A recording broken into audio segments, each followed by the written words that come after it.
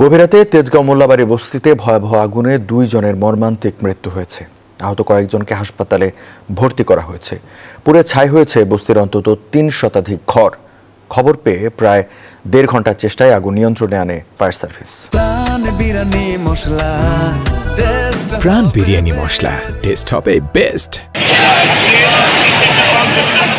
দিনমজুর খেটে খাওয়া মানুষ সারাদিনের পরিশ্রম শেষে যখন গভীর ঘুমে তখন হঠাৎই আগুন।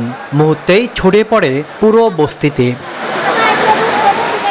গলির পিছনের গলিতে টুবলা তখন ওইটাতে গ্যারেজ সবাই যান বরান্দা সিলান দিছে আগুন আগুন আগুন। মানুষ কান্নাকাটি করে শুধু জীবন ডলে বাঁচছে। বস্তির অধিকাংশ ঘর কাঠ ও বাঁশের তৈরি হওয়ায় আগুন দ্রুতই ভয়াবহ রূপ ধারণ করে। পুড়ে ছাই হয়ে যায় বস্তিবাসীর শেষ অবলম্বন ঘর ও আসবাবপত্র। মোল্লাবাড়ি কিচ্ছু নাই।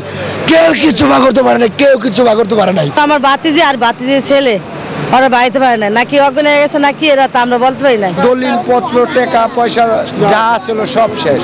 রাত আড়াইটার দিকে ফায়ার সার্ভিসের আটটি ইউনিট ঘটনাস্থলে পৌঁছে আগুন নিয়ন্ত্রণে কাজ শুরু করে। একে একে তেরোটি ইউনিটের চেষ্টায় আগুন রাত পৌনে চারটার দিকে নিয়ন্ত্রণে আসে। এ সময় উদ্ধার করা হয় এক শিশুসহ দুইজনের মরদেহ। বেশি কাঠবাস হওয়ার কারণে এটা আগুনটা দ্রুত ছড়িয়ে পড়েছে। তবে আমরা চেষ্টা করেছি কিছু ঘরবাড়ি ভেঙে দ্রু- দ্রুত একটা আগুনটা যেটা কনফাইন্ড একটা স্পেসে থাকে, এটার জন্য আগুনটা বেশি আমরা ছড়াতে দেইনি। তবে এখনও যে সার্চিং অপারেশন চলছে, হতাহতের ঘটনা পরবর্তীতে জানা যাবে। আগুন লাগার কারণ সম্পর্কে নিশ্চিত হতে পারেনি ফায়ার সার্ভিস। তবে তাদের ধারণা শর্ট সার্কিট বা গ্যাস লিকেজের কারণে আগুন লাগতে পারে। এখানকার বিষয়টা এখন পর্যন্ত আমরা জানি না।